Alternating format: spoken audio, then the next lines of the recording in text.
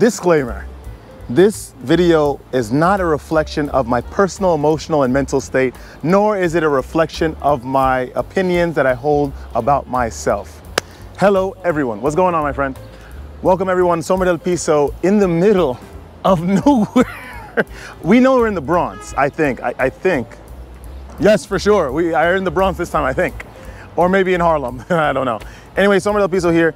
I don't know, man. Um, I was thinking about a lot of things. I think the topic of this video that we're gonna go over is are people NPCs? Are people programs essentially? Like they follow a, they have a sort of set of if and for loops, you know, a whole bunch of them that sort of have them react in a specific way to every single stimuli and uh, physical, emotional, um, action in this universe. What we really underestimate when we're on this practice of semen retention is that I think that we don't really understand what we're doing energetically. I think we really don't understand what we're doing metaphysically to this reality, right?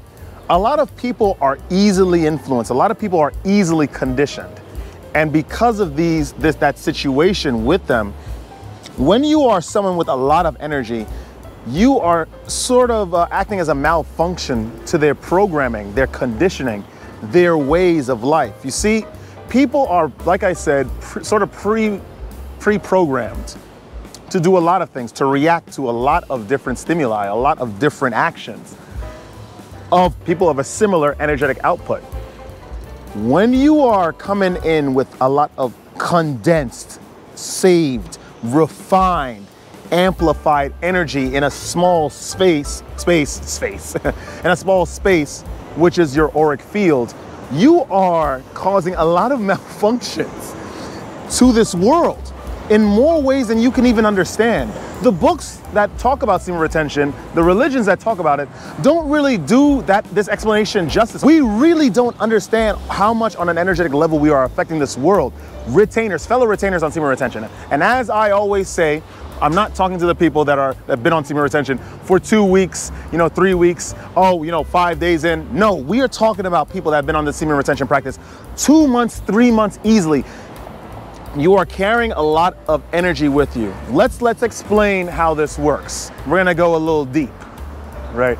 We're gonna go inside the, the nooks and crannies, the crevices, is crevices, crevices, the crevices of this practice, guys. Now, in this world, I believe, personal opinion here, a lot of what we do, a lot of the decisions that are that are, are carried out by individuals in this physical reality, in this whatever this is, is sort of manipulated by the color, the UV light that is shined upon this reality that is filtered through the atmosphere. In addition to that, a lot of our actions are also controlled and perpetuated and accelerated by the rays of the, of the moon, depending on what phases the moon is at.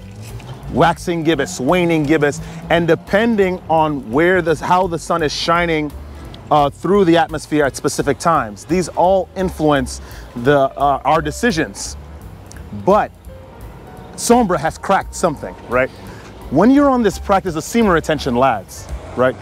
You realize that a lot of what the, the actions of this world, you know, that happen outside of this world physically, by the sun, by the moon, the rays of the moon, you know, which is the sun basically shining around the moon. It doesn't affect you. It really doesn't. However, gentlemen, however, lads, it affects the people around you, which means that at any given point in time, specific time, specific days where the rays of the sun tend to shine a little more brightly in a specific ray, i.e. perhaps the, the ray of purple is shining through a lot, which accelerates the actions of individuals of that purple vibration, of that purple frequency, which will elicit certain results. Meaning that on certain days, you're just gonna have horrible luck due to the energetic output from the forces that sort of govern this world and keep everything in, in, a, in its cycle. When you are on the practice of semen retention, when you are not on the practice of semen retention, unfortunately, you're going to be affected by these, these, uh, these things, these, the sun, the moon, so on and so forth. What can be done about it? Absolutely nothing, other than hang out with like-minded individuals and just live your life. You're gonna end up doing that anyway when you're on this practice of semen retention because you end up just uh, manifesting your reality, your new reality, your subconscious. Watch the video that I posted on my channel much, much earlier.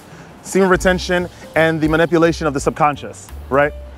Which is in turn manipulates your reality. Let's recap. A lot of, there are a lot of energetic influences and actions that govern the actions of the people that are not on semen retention, that do not are not vessels essentially for refined, unbridled energy, which is what semen retention does. You must tread softly, as Chris Tucker would put it, through this place on especially on days when individuals that are affected by these actions, you know, these uh, satellites, let's call them satellites. When people are that are affected by these satellites, the sun and the moon, are more affected much more strongly than other days. I'll give you an example for in my case. Days with numbers that I tend to, I don't act any differently on any day, you know, on any given day. No, it's just Sombra is Sombra, whether it be the 10th of the month or the 21st of the month. But I have noticed that on the 12th and on the 13th of, of, of months, people act very, very strange. Days that equate to 10 in the numerological sense um, people tend to act very, very weird towards me. It's like, it's very, very strange. They act like they, they don't see me on the street. Then they try to bump into me, but then I talk to someone else. You know, we have a conversation, but they see that in full measure. And then they try to do things to interrupt it, to make themselves seen, or to just sort of interrupt the conversation. And this happens a lot on many, many days. Honestly, like I said, I've been five, six months into this practice, six months now into this practice on the streak. And I, the things that I've been witnessing, you will not believe. And I definitely have deduced that it is due to an amalgamation of factors, including the influences of the satellites that surround this planet and a lot of just the individuals that are in my space, in my direct vicinity as well, because I can't avoid them. I'm not like the King of England, so I'm not going to be escorted in a Escalade everywhere, isolated from society um, a lot of the people that are within my vicinity are not on the practice of semen retention. And essentially, which that what that means is that they do not have a reservoir of refined, unbridled energy. So what can be done? I mean, live your life. Live your life, continue walking your path and make observations. It's not personal, although these attacks are that you will experience whilst on this, uh, on this practice. Um, but don't worry. It's this, this world is temporary. These are just things that just happen. These are just the rules of this this universe here, and you just have to sort of respect it. It's better than getting angry at it and not having the strength to do anything about it. Which lends to a lot of the way that I, the reason why I act the way I do. It may seem that I'm not, I'm sort of, I joke around or I'm entertained by a lot of things, but it's only because I understand the rules of this world a lot very, very closely, much, much more closer than you guys can even imagine. I've experienced a lot of things in this world. I've, I've lived the life of debauchery. I have. I used to sleep with many, many women. I tried drugs because I believe that it was, it was the direct way to enlightenment. There's no way that I'd be able to not, you know, go to the, the, the higher realms if I, you know, if I kept taking drugs. And I've, um, you know, I've reached like rock bottoms in emotional states. I felt weak at times, many, many times. I felt overwhelmed by the reality of things. I was afraid to even express myself at certain times.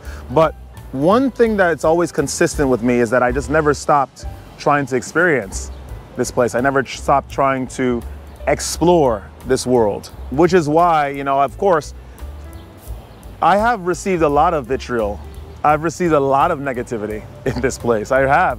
Even to this day, on the way up here, I felt so much negativity. You know, I people try to cut me off. You know, they do a lot of these negative things, and I just smile because it's just this is just the world we live in. This is due to my practice being very, very deep and steeped in this semen retention practice. The refinement and the assembly and the uh, the gathering of this very, very powerful force. This is going to continue to happen. So what I'm saying is that you cannot get angry at the individuals that cast this, this aggression towards you. It is only what they're reacting to because they are not initiated in the ways of trying to ascend. Well, that's all I have to say today, really. Like, comment, subscribe if you like that video. it sounds so contrived. I sound like the guy, what was his name? Daniel Kaluuya from uh, the Black Mirror episode, uh, 15 Million Merits, right? It's like, he had the, the glass shard. And remember, if you saw the episode, he was really building up towards like really making a political statement about, you know, trying to free and liberate all those people that are in that facility continuously on those spinner bikes fueling the, the place and building up credits little, little by little in order to try to spend most of those credits that you would accumulate within like years on an, a chance at fulfilling a dream. And he finally breaks the system-ish, but what they did, the judges of that show that he that he broadcasted this political statement on, gave him an opportunity to make money and to escape his situation. I am not Daniel Kaluuya. I am not, I do not have the same financial opportunity, nor do I have the same wavering temperament, right? I'm in it for the long haul. So don't let this place get you down. It's a wonderful place. The design is good. The air smells nice, right? The this ground, it's it's hard, it's concrete. I, I won't phase through it. The rules are done so specifically that I can't be really uncomfortable in this world unless I choose to. Thanks a lot, dude. this is fine. Whatever these, these people cast at you, is it's fine, man. It's fine. You're not gonna die, right? And stay radiant. I'll see you guys in the next one.